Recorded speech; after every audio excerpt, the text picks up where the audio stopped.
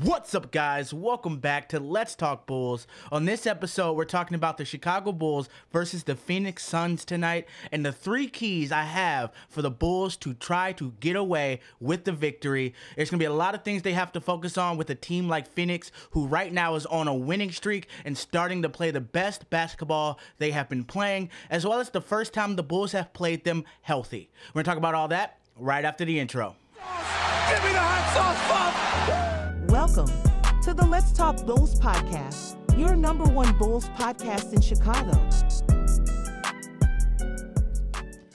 Welcome back to Let's Talk Bulls, your number one Bulls podcast in Chicago. My name's Quinton. I'm your host. And if you're new to the channel, make sure you hit the like button for the YouTube algorithm, hit that subscribe button so you join the family, and hit that bell notification so you're notified when I drop more of these videos. And with that, we're going to get right into it.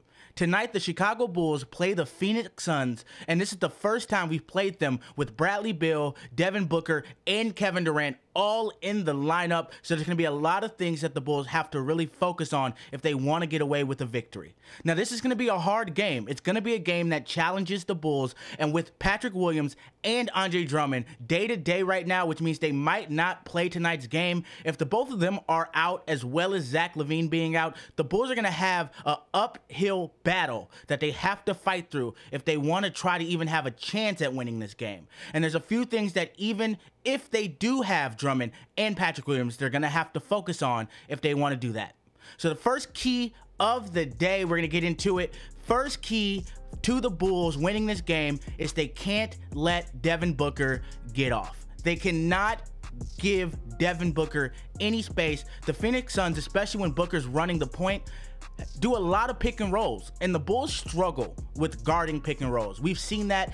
Vooch struggles, DeMar struggles, Drummond struggles. Everyone on this team has a hard time guarding pick and rolls and Phoenix is one of those teams that when it comes to that they know how to run these plays they have two premier shooters, especially off of the pick and roll. If you let Devin Booker or you let Kevin Durant run off of a screen, they're most likely 90% of the time going to hit the shot. So you have to make sure you're fighting through those screens and you're staying focused on where they are at all times. This cannot be one of those games where the Chicago Bulls are over helping and they tend to leave people at the three point line. I know they do that a lot, but with a team like Phoenix, with the amount of scoring and shooting they have on this team, that's only going to destroy you if you go too far off of your man and leave them in the corner or at the wing for an open three.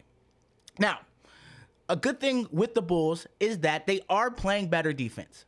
The scary part is, are they going to be focused enough to stick to that the entire game? Because the Bulls have been playing well. They've been doing a good job, especially sometimes when Zach's out, they tend to focus a little bit more because they know they don't have him on the on the floor. They have to really make sure that they stay focused the whole game. This is not one of those games where if they do take a lead, they can take their foot off the gas. If you give Phoenix any type of room, they will catch up. If you don't play well enough and they take a lead and you don't step up, they will destroy you and take off on you, giving you a 20 point deficit. You have to stay focused this entire game. There is no losing your mind at all. If you lose your man, you're going to lose this game. Now, that takes me into point number two. Key number two for this game the Chicago Bulls have to get out on the fast break. Yep, they have to keep the ball moving. We know the Bulls are at their best when they're playing good defense, and that takes key one.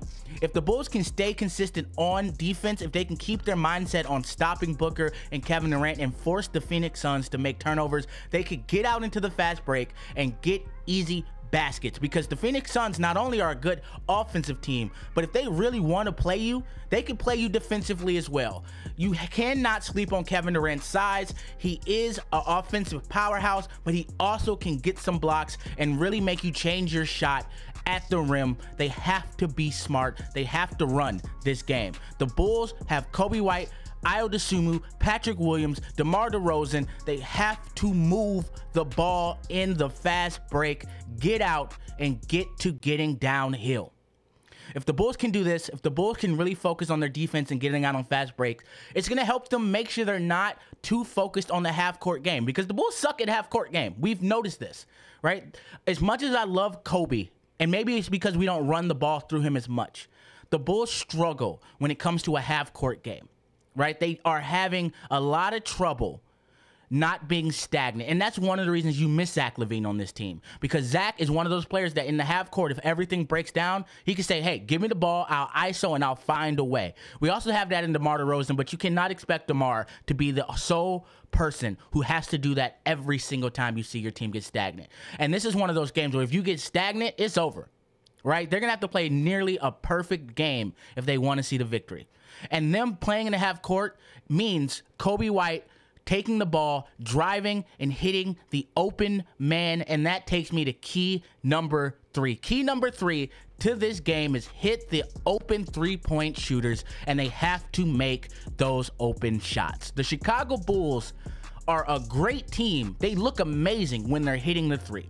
The issue is they don't do this consistently. We have games where we shoot out of the gym, right? And it looks like we can't miss a shot.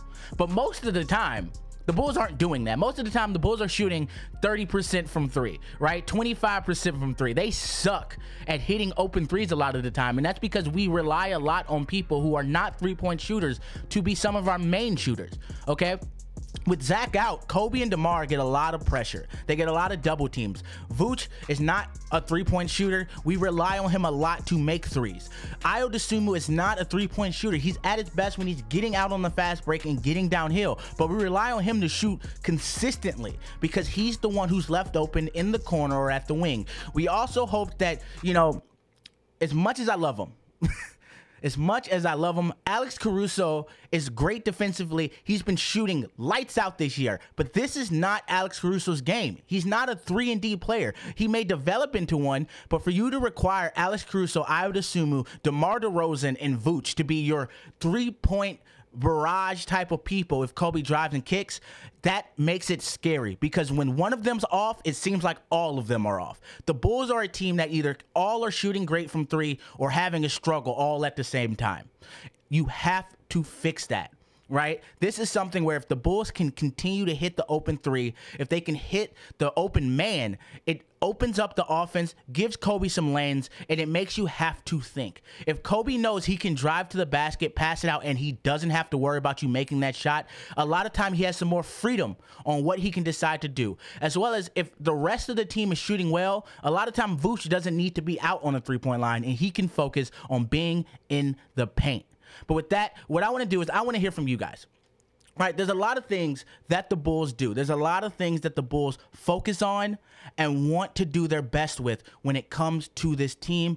But what do you think the main key to this game is. Do you think it's stopping Devin Booker? Do you think it's getting out on the fast break? Or do you think it's hitting those open threes? What I want you guys to do is comment down below. Let me know what your main key, even if it's not one that I put out, what is your main key to the Bulls getting victory in this game? And with that, like I usually say, if you guys are liking the channel, if you like the visuals, you like the content, and you like this quality of this ESPN style work please leave a comment, share the video, subscribe, and make sure you're checking out the next videos. I'll see y'all tonight after the video. I'll be probably making a video tonight. If I'm being honest, tonight's game is pretty late, so it'll probably have a video that pops out tomorrow.